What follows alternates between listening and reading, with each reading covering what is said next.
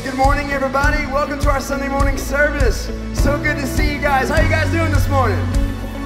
Man, we're ready to worship our Jesus with you guys. Come on, let's start by doing that. Lifting our voices to our Savior today.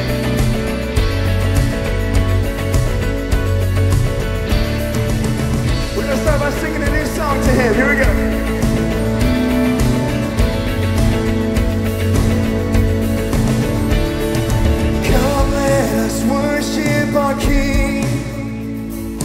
Come, let us bow at His. He has done great things. See how His love overcomes. See how His love overcomes. He has done great things. He has done great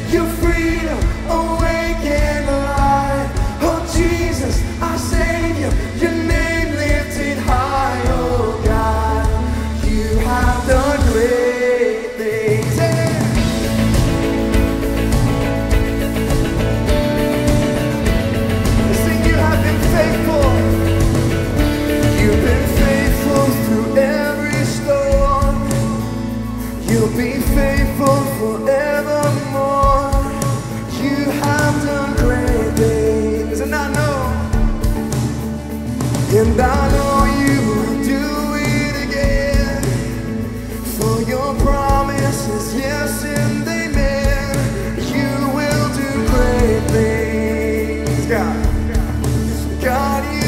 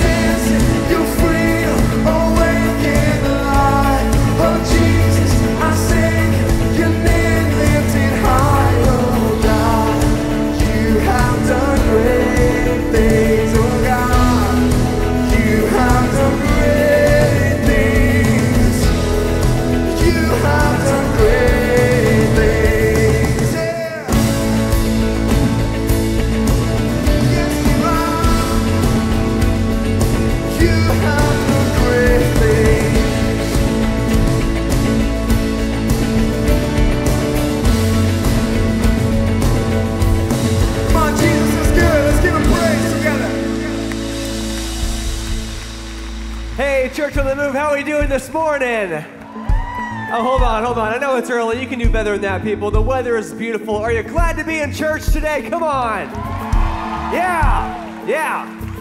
Hey, before you guys grab a seat, would you turn to the person next to you and say good morning? Maybe give them a high five. Fist bumps, perfectly acceptable if you're a germaphobe. That's why we invented them.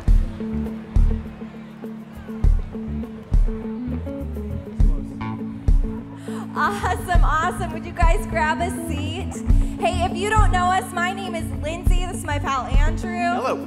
It's so good to be here this morning. We're going to have a great service together.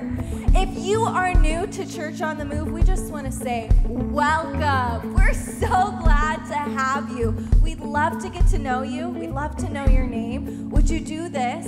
There is a card in the seat back in front of you. It says next steps on it. Would you grab that at some point during the service? Fill it out. You can drop it in the giving buckets as they go by or in the red drop boxes on your way out of service tonight. We just want to get to know you and know your name. That's right. You picked a great day to be at church. We are right now in a teaching series called An Open Door. Has this series been awesome or what? Anybody else get some great stuff? Yes.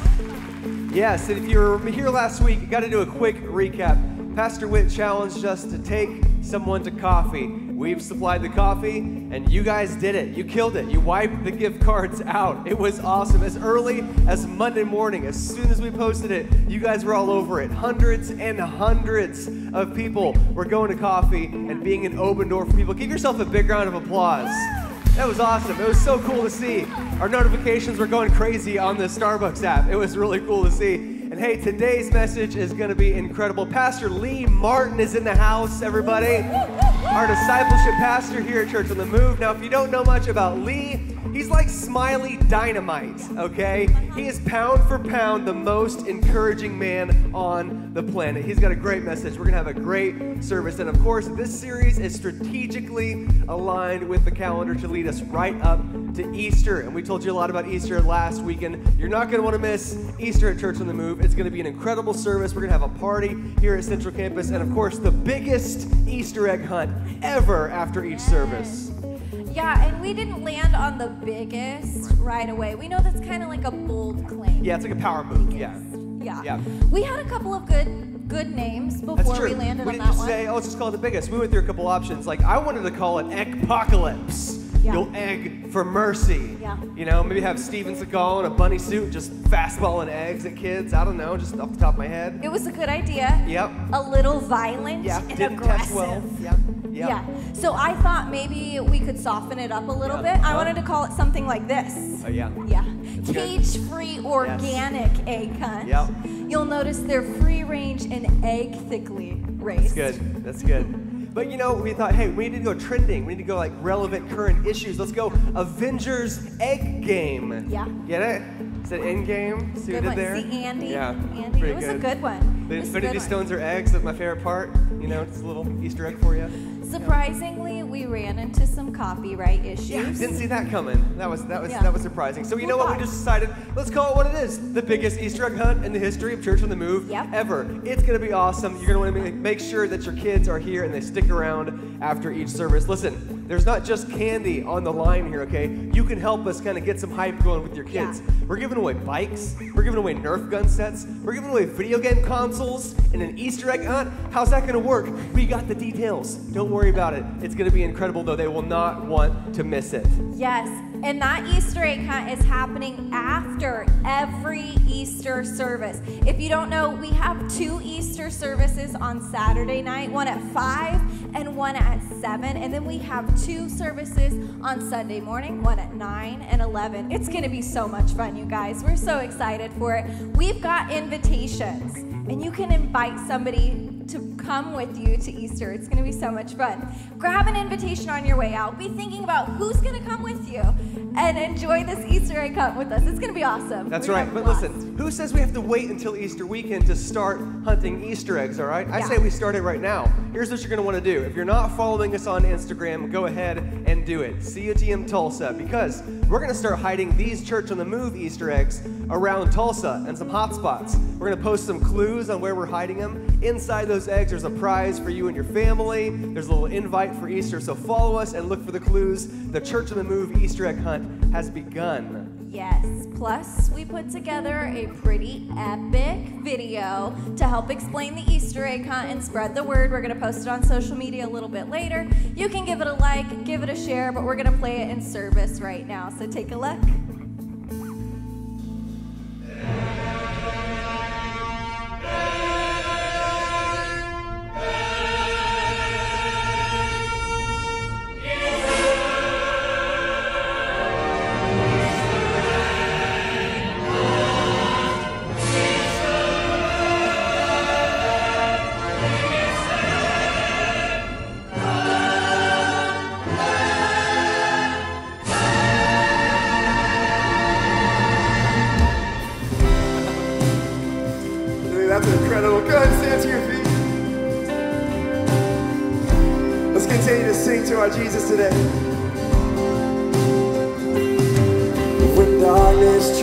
to roll over my bones.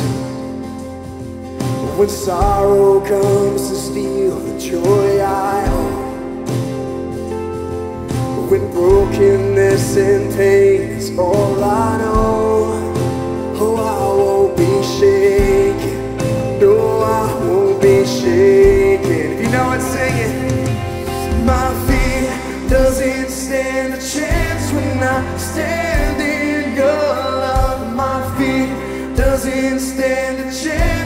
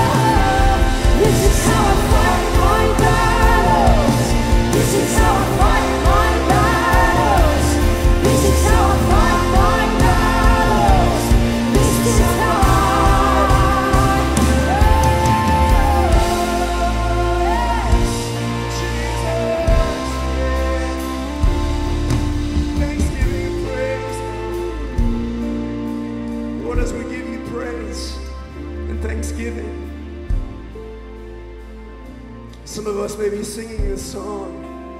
And we're on a mountaintop, and you're doing amazing things in our lives, and we see it and we feel it, but some of us may feel like we're in a valley. Wherever we find ourselves, let us remind, let us rem- remember the words of Psalm 23. Lord, you are our shepherd. We shall not want. You make us lie down in green pastures. You lead us beside still waters. You restore our soul. You lead us in the paths of righteousness for your name's sake. Yea, though we walk through the valley of the shadow of death, we will fear no evil, for you are with us, God. Your rod and your staff, they comfort us. You go before us and prepare a table in the presence of our enemies. You anoint our head with oil, our cup runs over. Surely goodness and mercy will follow us all the days of our life, and we will dwell in the house the Lord forever. Amen, church. Amen. Amen. So, God, we give you praise and thanksgiving because we know that you are Lord. And we fight our battles by lifting our hands. We fight our battles by letting go, by giving you lordship over our lives. You are strong when we are weak. And we love you. You're the best kind of Savior. You're the best kind of Lord. You're the best kind of shepherd. You fight on our behalf. We love you in Jesus' name. Amen. Amen. Are you grateful to be in His presence today, church? Amen. Thank you guys so much for singing. Go ahead and take your seat. Praise God. God is so good. It's a great, great day to just worship Him with you guys. Man, I love this. We're going to continue to worship our Savior by giving. Uh, this is something that we believe in as a church. Uh, we want to give back to our Savior for everything that He's given to us. So I want to encourage you if you've brought something that you'd like to give, you can go in and get that ready. Uh, we have a few ways you can give. You can go to cotm.info. That's our website. Just follow the giving prompts. Uh, you can also text to give if you want to text the word give to the number 23101. And if you want to give specifically to our Love Your Neighbor initiatives, you can text the same uh, text to the same number LYN. It stands for Love Your Neighbor. And can also use the envelope in the seat back in front of you. But let's do this. Let's let's let's pray. And we're going to take just a brief moment to worship together by giving, and then we'll continue on uh, with our service. I'm so excited for you guys to hear Lee's message. Let's pray together. Lord, we love you. I'm grateful for every person that I'm with right now, in this room, online, out in the lobby, every person who is gathered to worship you. I'm grateful to be here with them. Lord, thank you for your presence. Thank you for changing our lives, God. That's why we give, that's why we worship you. We love you. In Jesus' name, everybody said, Amen.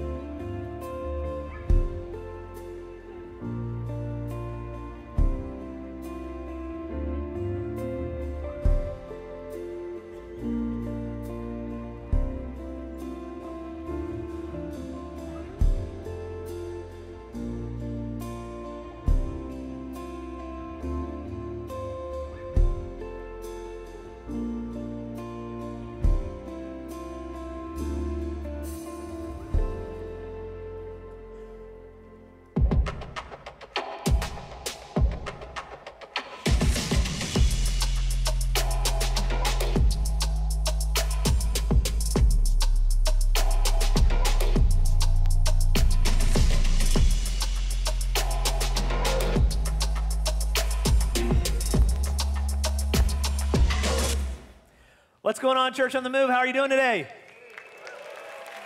Eh, eh. I'm gonna need more than that. How are you doing today, Church on the Move? All right, there we go. I like it. That's better. If I haven't met you before, my name's Lee. I used to be the discipleship pastor around here. Now I am the pound for pound most encouraging man in the world, evidently. And I'm not sure how you defend that title, to be honest. I'm also not sure how you fit it on an email signature, but I'm going to figure that out. I'm going to I'm going to discover how that works. Um, every now and then I get a chance to speak uh, at our at different stages at our different campuses, and I'm so thrilled to be here uh, with you guys today at Central Campus. Before we get started, I just want to say hey to our friends up at 180 and out at the BA campus. Special shout out to our brothers and sisters at Dr. Eddie Warrior and Dick Conner Correctional Center. Guys, can we give it up for those guys? Yeah. We know you guys are out there.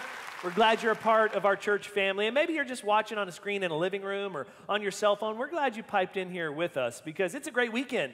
Uh, we're in the middle of a series called An Open Door, and we've been talking about how we take the doors of the church out into the community, into neighborhoods, and into workplaces, and into classrooms. And physically, that's impossible with the actual doors of this building. But here's the good news God never intended the church to be a building, right? Like, you know that. The church is us. We are the church. And so, when this service is over and you go get in your car and you spread out all throughout the Tulsa area, we're doing exactly what this series is about. We're taking Jesus and our church out into every part of our city. But you know, I was thinking there's a problem. You see, an open door means nothing if we aren't willing to walk through it. An open door means nothing if we're not willing to walk through it, not for us and not for the people that may be on the other side of that open door. And some of you have been praying, like Heather challenged us a few weeks ago. You've been praying for a family member, for a friend, and you've been looking for that opportunity to have a conversation, to go to coffee, to maybe talk about the things that really matter, or maybe, just maybe, help that person take one step closer to meeting the real Jesus. But that makes us nervous because we aren't always sure if we're a great representation of our church or of our Lord. And so we're uncertain about what lies beyond an open door. Because sometimes we think, what if that person I take to coffee isn't really receptive to what I want to talk to them about? Or what if I get a label at the office or in the classroom Jesus freak, religious nut, and I don't want to come off that way. Or the worst one would be what if we go to that coffee and somebody asks me a question and I don't know how to answer that question? And so I don't represent Jesus well, and I don't represent my church well. And we're nervous about stepping through those doors, but I got something to tell you. I got something to share with you this morning. I know what lies on the other side of the doors God opens. Do you know what it is? It is the adventure of your life. And that may sound like an oversell, but it's not. On the other side of the doors God opens is the adventure of your life. And the reason that I know this is because Jesus tells us that in His Word. In John, the 10th chapter and the 10th verse, this is my favorite passage of Scripture in all of the Bible. And Jesus is teaching in this passage, and He tells the people there, We have an enemy, He's a thief and he comes to steal and to kill and to destroy. But Jesus says, I have come that you would have life. And man, he could have stopped right there. And we would have just said, Yes, Jesus came, and the work that he had to accomplish overcame death. And now, when we die, that's not the end. We get to live on forever in heaven with God. But that's not where he stopped in this passage. He said, I have come that you might have life and have it to the full. I call this the capital L life. Some passages or some translations say this is life more abundantly. The, mis- the mission, or sorry, the message translation says this is life beyond anything you could have dreamed. Capital L life. And that's for right now, not just somewhere far off in the future. And you know, when someone learns to live this capital L life, there is a certain power that is unleashed all around them. You know some people like this. You're drawn to them. The best of you comes out when you're around them. Some of us long to be those people. There was a pastor and a civil rights leader back in the late 40s and 50s. His name was Howard Thurman. I found this quote from him years ago. I committed it to memory because I like it so much. Here's what Howard Thurman said he said, Don't ask yourself what the world needs. Ask yourself what makes you come alive and then do that because what the world most needs are people who have come fully alive. You see, there's a difference between just being upright, having a heartbeat, breathing oxygen, and being fully alive. But we struggle with this, don't we? We struggle to access, access this. And you know why? It's because this kind of life, it got hijacked all the way back in the garden, all the way back at the beginning. And it still gets hijacked today. You see, you want to live this life, but then sin creeps in. And then the distraction of our busy lives and maybe disappointment, maybe suffering, maybe loss. Some of you are dealing with a personal failure right now. Others of you have been abandoned and betrayed by someone who never should have abandoned you. And if all that weren't bad enough, you've got an enemy who's always whispering in your ear, You're not worth anything. If people really knew you, they'd walk away from you. And God, God can't be trusted. God doesn't come through, at least not for you when it matters. You see, there's so much in our world that is at odds with the capital L life. But I want to tell you something today. Listen, listen. Just because this life is under attack doesn't mean it's not fully available to you today. It doesn't mean that you can't, yeah, let's go, that's, that's good news. It doesn't mean that you can't experience the capital L life in your world, in your circumstances, even if they're circumstances that you never would have chosen for yourself. You see, the adventure of your life is probably not going to be easy. It may not be exactly what you you expected, but that's the nature of adventures, isn't it? You don't create or control an adventure, you just go on an adventure and find out what happens, right? You step through a door into the unknown. You know, I think stories often help us make sense of our life, and I love adventure stories. How many of you like the Lord of the Rings trilogy? Yeah, I love, I love, I love the Lord of the Rings. I love the adventure of it. And there's this conversation that happens right in the middle of that adventure. It's between the two main characters who are hobbits. I, I really like these hobbits. Uh, uh, let me just stop for a second right here and just say, I don't need anybody coming up to me after the service with some hobbit jokes. All right, I've heard all the hobbit jokes, all right? You can just, it's too easy, it's been done. But there's this conversation between Frodo and his friend Sam. And they started off in the Shire where it was just peaceful and serene and joyous. Like everything was great in the Shire, but now they've been on an adventure. They've encountered battles, they've encountered loss, they've encountered evil. And Frodo turns to his friend and he says this I don't like anything here at all. And that actually may be where some of you feel today where you may be. Frodo says, Step or stone, breath or bone, earth, air, and water, they all seem cursed. But so our path has been laid. Yes, that's so, said Sam. And we shouldn't be here at all if only we'd known before we started. But I suppose it's often that way. The brave things in the old tales and songs, Mr. Frodo, adventure, as I used to call them. Sam says, but that's the way it is with these adventures.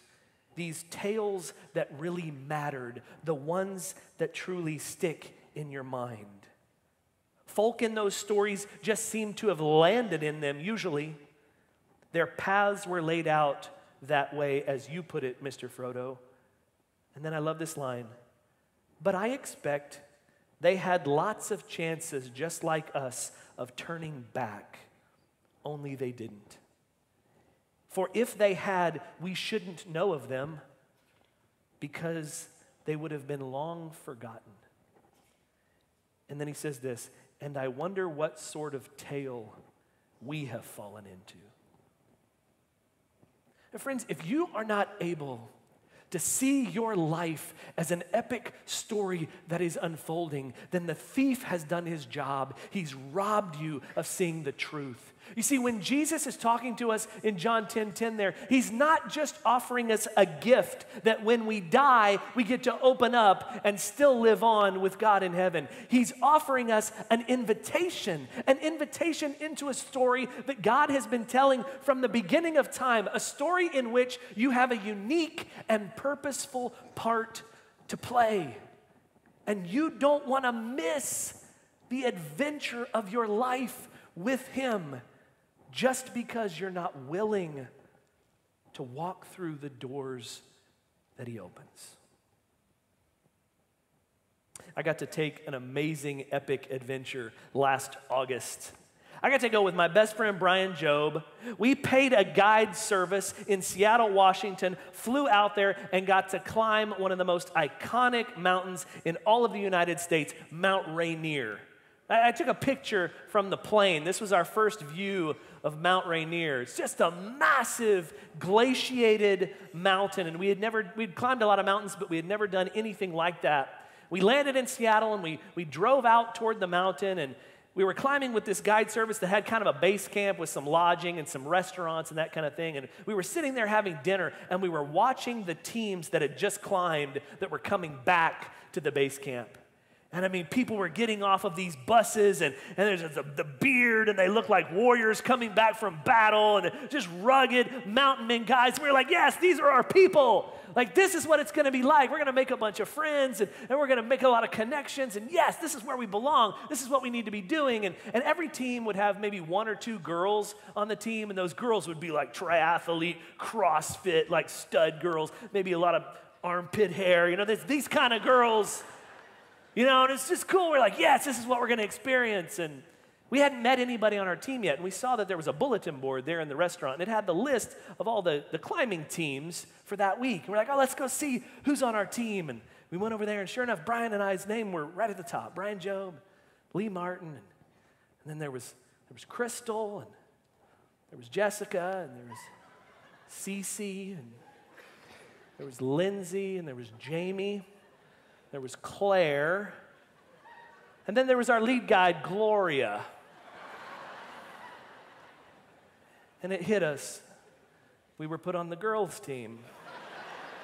Eh, it may not be a big surprise to some of you, but it was a big surprise to us.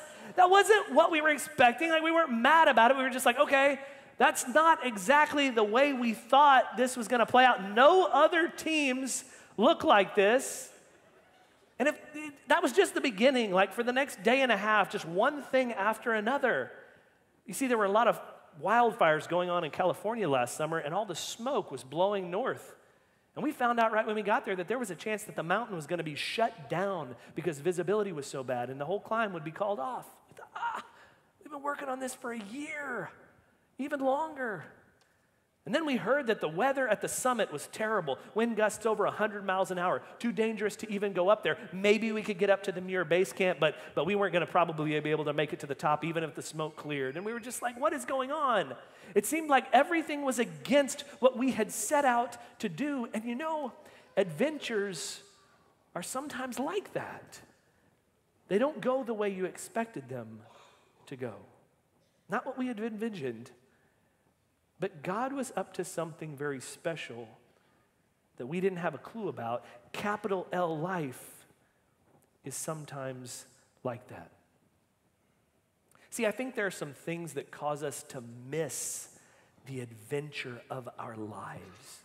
I want to talk about three of those things today. And here's the first one don't miss the adventure of your life because you aren't expecting the doors God opens. See, I'd guess right now you are probably praying for someone. Maybe you took Heather at her word and you've been praying for a family member or a friend, and you're looking for that opportunity to have a conversation. And that's great. Keep looking for it. But today, could I ask you to also pay attention? Keep your eyes open for the opportunities that you haven't been praying about. The doors that you haven't been looking for, maybe some that you've been avoiding. That's what Paul's talking about in Ephesians, the fifth chapter. This is what he says to us. He says, Be very careful then how you live, not as unwise, but as wise, making the most of every opportunity because the days are evil. Therefore, do not be foolish, but understand what the Lord's will is. Not just your will, not just what you think you should be doing, but what the Lord's will is because He may be up to something that you didn't expect. I think far too often we miss the open doors in our lives because they seem really insignificant and small to us. Now, I want to show you a graphic that I hope will be helpful for you. Check this out. Here's just a simple graphic that I think is kind of everybody's story that comes to faith in Jesus. A lot of us have been at that spot there on the right side where the cross is. That day, and maybe you remember it, when you, when you prayed that prayer, maybe you were baptized and you're like, this is the day that I surrender my life to Jesus, that I become a new creation, right? It's a great day. But all of us would admit that there were a lot of steps that led up to that day. A lot of conversations, maybe with your mom or dad maybe with your youth pastor or a group of friends. Maybe you, maybe you read something or you watched a video. Just a lot of steps leading up to that day. And, and maybe some of you there in this room, you're, you're kind of on that spectrum. You haven't quite gotten to that point yet, but, but you're maybe moving in that direction. You know, sometimes it's awesome if you get to be right there when somebody makes that decision. Maybe you had a part of it Maybe you're over there in the baptism room and you're cheering them on. That's a wonderful place to be to celebrate with somebody when they enter into life with Jesus. But you know, I think more often than not, we're involved in those steps that lead up to that. They seem small, maybe insignificant, but maybe a conversation that you had with your family at Thanksgiving. Maybe an exchange that you had in line at Target. And you didn't realize it. But that interaction helped someone take one small step closer to meeting the real Jesus. You know, over the next several days there on the mountain, we grew to really love and be connected to our team. There was one other guy on the trip. His name was Nat Hawkins. He's from New Hampshire. And Brian and I have kept in touch with Nat. And I told him he needed to watch this message. And so he may be watching now. If you are, Nat, hey, bud, we miss you. Brian and I kind of felt like older brothers to these 20 something and 30 something girls on our team. And we kind of treated them that way. We teased them a little bit. We built relationship with them. We protected them. We served them, even though they were all a lot tougher and in much better shape than we were. And something happened. We made it up to the Muir Base Camp, about halfway up the mountain. A lot of other teams were there. And they had said there might be a chance that we could make an attempt at the summit the next day. And so, as the sun was starting to go down, we were all a little nervous about whether it was actually going to happen, and if it did, were we ready? And what had just been general small talk on our team got a little bit deeper. There was a helicopter pad up there, just made out of rock and dirt, place where they brought helicopters for rescues. And we were all just kind of sitting out there on this helicopter pad, watching the sun go down. And one of the young women from my team that I'd built a friendship with, she started telling me, I don't know why about her relationship with her boyfriend back in Denver. How they'd been together for three years and she thought they were going to get married.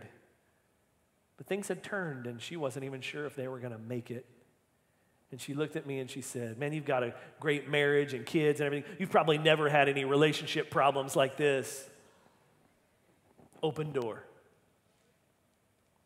And I got to tell her about what my wife Shannon and I had been through almost lost our marriage, and how God had restored us, had renewed us, had saved us. And you know what? She listened. She really listened to everything I had to say. She wasn't a believer, but we got to have that exchange, an open door that I hadn't intended. When I had gone up to the helicopter pad, I had left Brian down at this, this makeshift table where he and another one of the young women on our team were, were looking at gear and trying to figure out what we're going to take and what we're going to leave. But by the time I got back down there, the conversation had changed completely. That young woman had told Brian that about a year earlier, she and her husband had lost their baby in a miscarriage. I don't know why. But Brian got to tell her that he and his wife, Jamie, had been through the same thing how God had helped them move through such a painful and miserable time in their life because of their relationship with Him and their church. And she really listened. And with tears in her eyes, it meant something meaningful to her. Guys, I wish I could tell you that our whole team surrendered their heart to Jesus on the mountain, but nobody did. But I'm pretty confident that several of them took one step closer to that idea. God had some open doors intended that we didn't. Listen to this. Don't miss the opportunities God has intended, even if you didn't. Don't miss them. Don't miss them. After a lot of prayer from Brian and I, as well as a lot of you back here that love us and know us, we got the green light that evening, and they said, We are going to make an attempt at the summit despite all the odds. And they said, You're going to get up at midnight.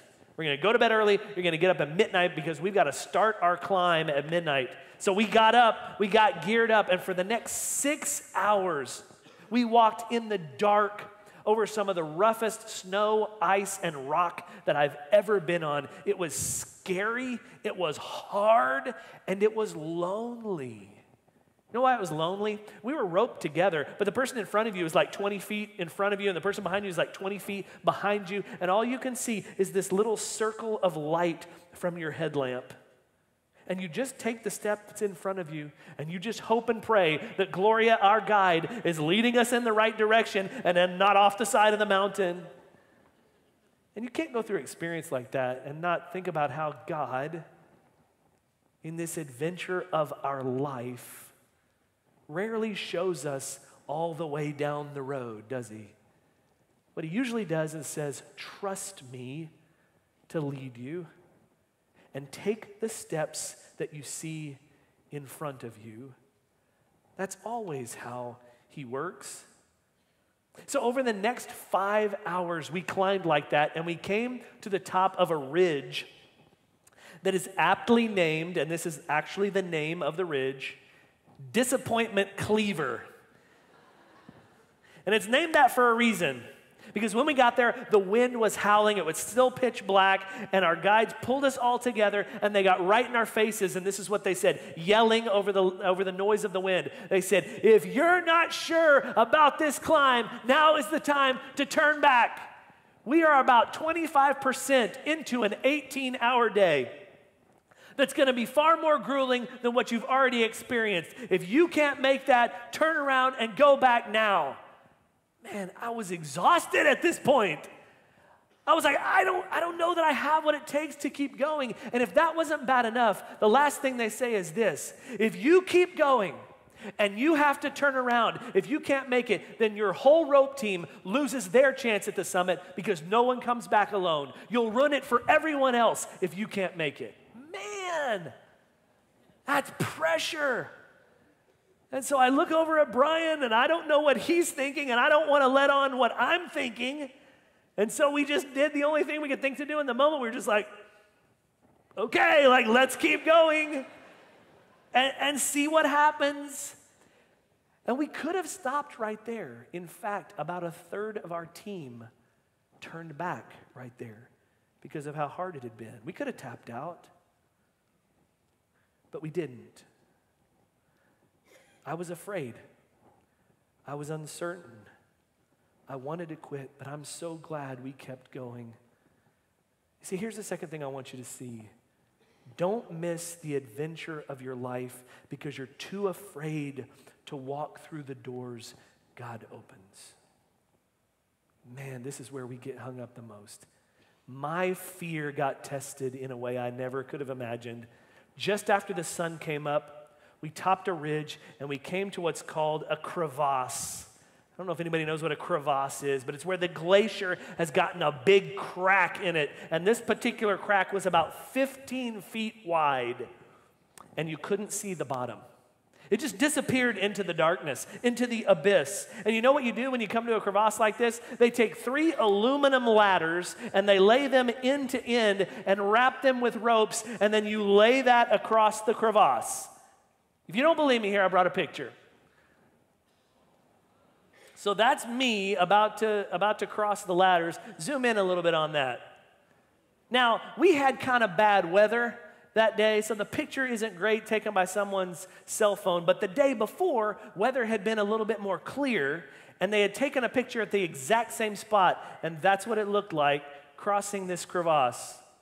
Can't see the bottom, bouncy ladders lashed together, just two ropes that they connect into the snow on either side that you pull up on to try to keep your balance. And I realized I don't know that I've ever done anything more dangerous than what I'm about to do. I was scared. And right there, we could have stopped. We could have turned around, and some people turned around right there as well. But something in us said we couldn't. We couldn't stop here just because we were afraid. Do you know why? Because our longing for what still remained beyond that crevasse was greater than the fear that kept us from stepping across it. Listen, that's what I want for our church. That's what I want for you and for your family. That this longing, this desire that you would have to live the adventure of your life that Jesus offers, the capital L life, that that desire, that longing to be a part of a mission of introducing people to the real Jesus would be so much greater than the fear that keeps you from taking a step through the door that God has opened for you. Gosh, that's what I want for us as a church. So I did the only thing I knew to do. I reached down, I didn't think too much about it.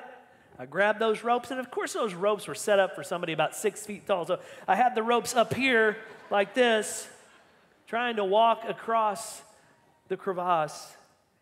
And it was scary. And in that moment, I remembered God's words to Joshua in Joshua 1. You know, Joshua was about to cross the Jordan at the time and he was going to go into the promised land, and Moses wasn't with him any longer, and he needed these words, and I needed these words. And God says in Joshua 1 Have I not commanded you? Be strong and courageous. Don't be afraid. Don't be discouraged, for the Lord your God will be with you wherever you go. And guys, I know those words in Joshua 1 were meant for Joshua and not for me, but I just co opted those words in that moment, and you would have too if you had been standing where I was standing.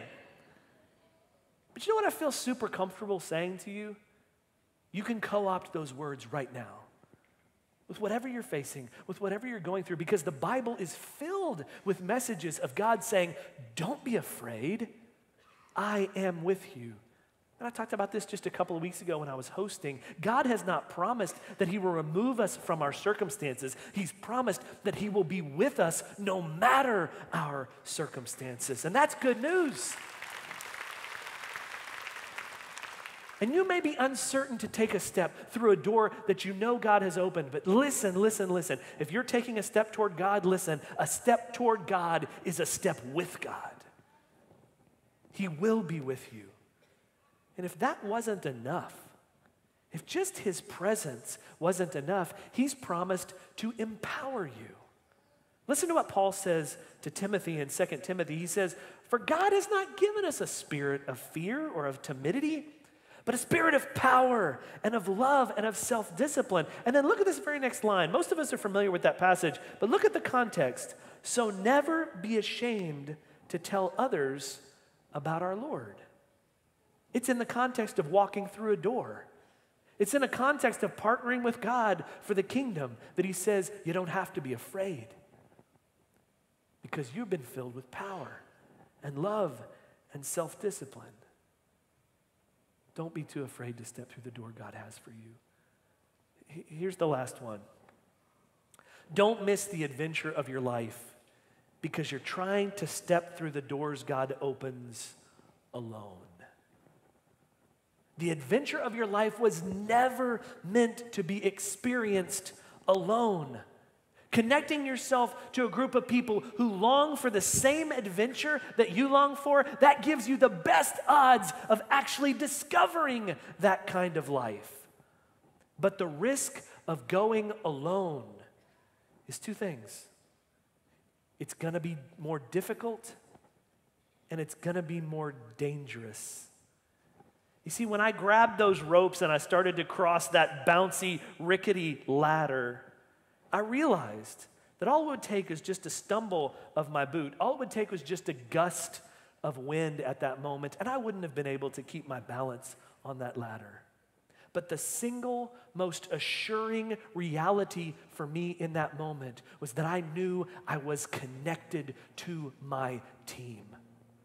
My best friend was just on the other side, his ice axe in the snow, his feet dug in. And if I should have any problem at all, he was there to catch me. I wouldn't fall into that abyss. They would help me, they would save me. That's where I got courage. That's where I got confidence. I knew that I wasn't alone.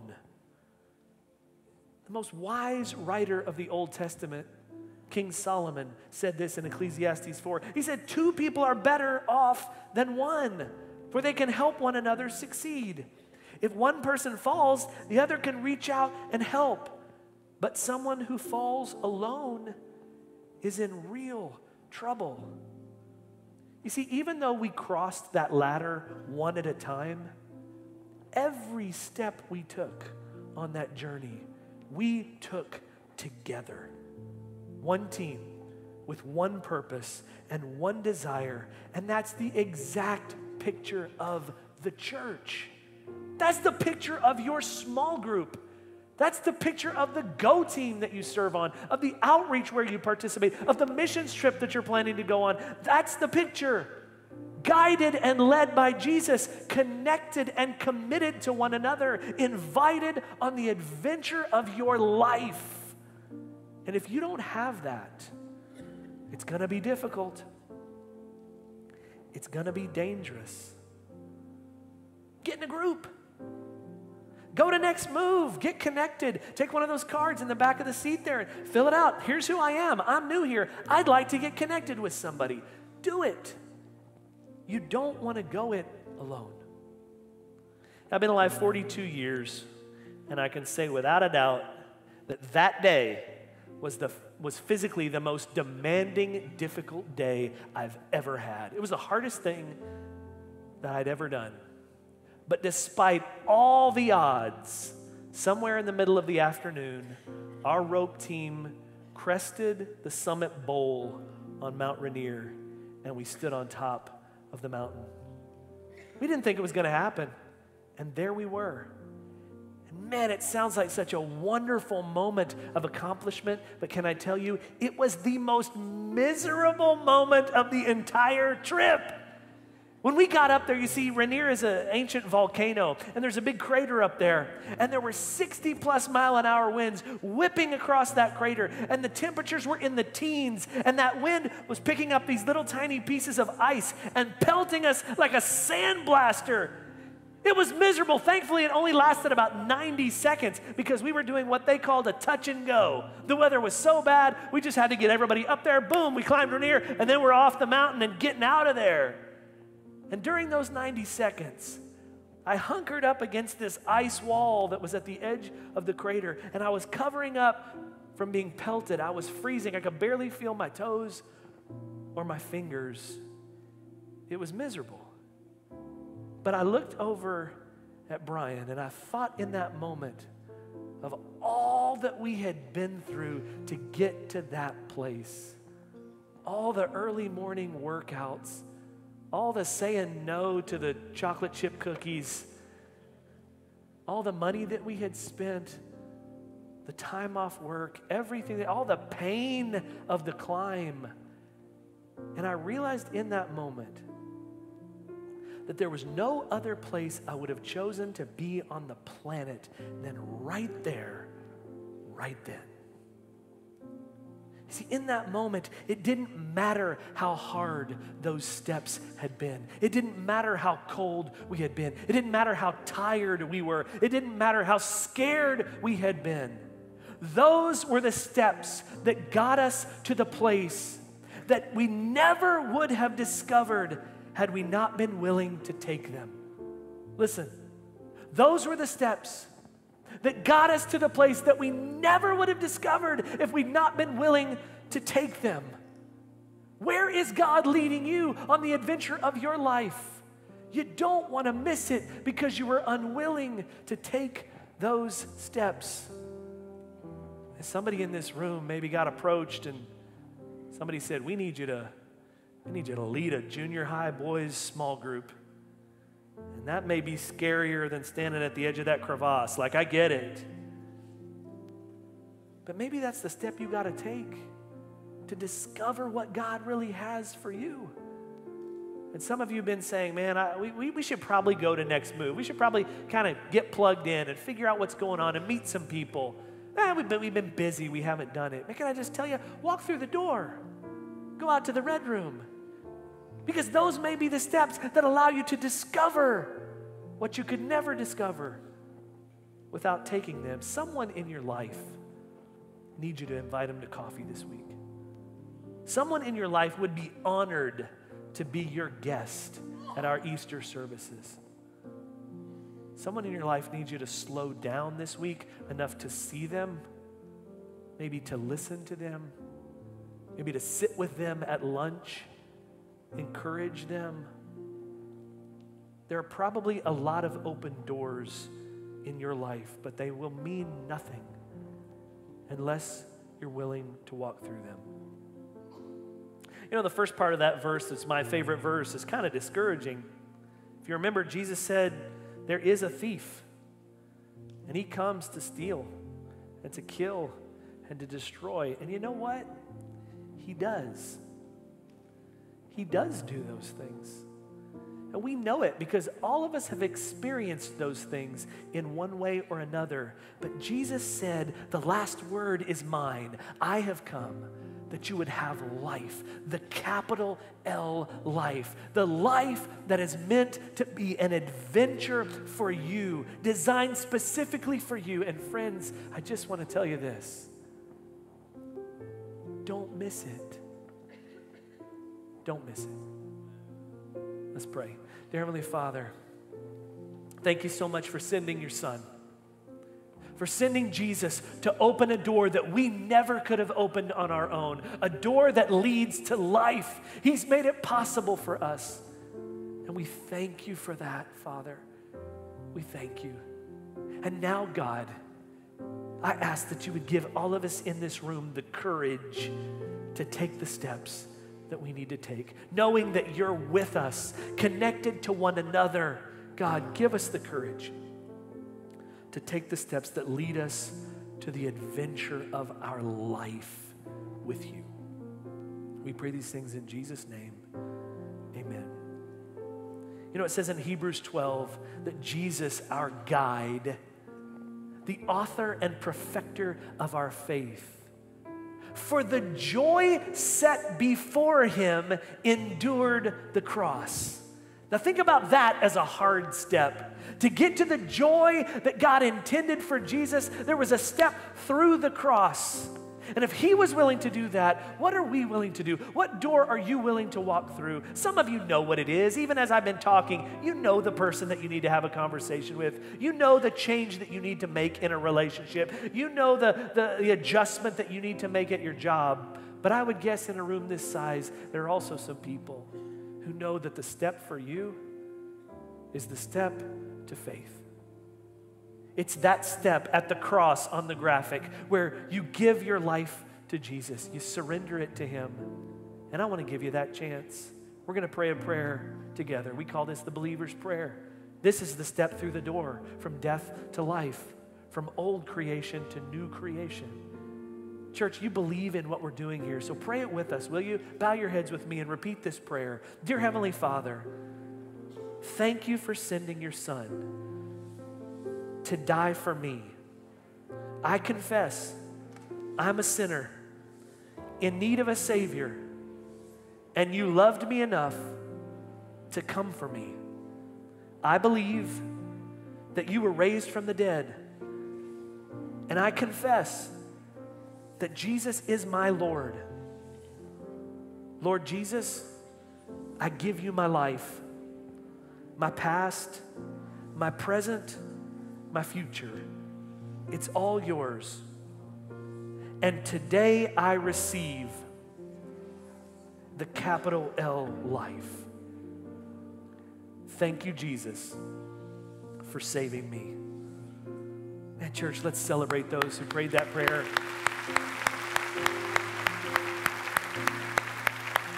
Maybe you prayed that for the first time, maybe for the first time in a long time. There's a door right back here. They're just about to open it. And right through those doors, this exit right here, there's another door right around the corner. That's our baptism room. If you prayed that prayer for the first time today, could I challenge you? Go walk through that door. Water baptism is your next step. And maybe some of you are saying, I don't really know what that's all about. I don't really know what water baptism means. That's okay. They can answer any questions that you have. You don't have to do it today. Go in there and ask some questions. Find out the significance of baptism. I'd encourage you with that. Maybe you need to take that card that I talked about and say, hey, this is who I am. I'm new and I want to get connected. You can fill that out and drop it in one of the boxes on the way out.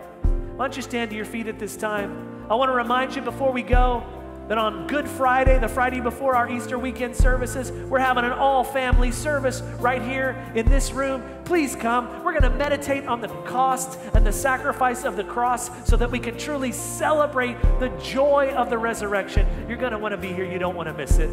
And now as I as we go, receive this blessing. May the Lord here I go again. May the Lord bless and keep you. May the Lord make his face to shine upon you and be gracious to you. May the Lord lift up his countenance upon you and give you peace. Have a great rest of the weekend.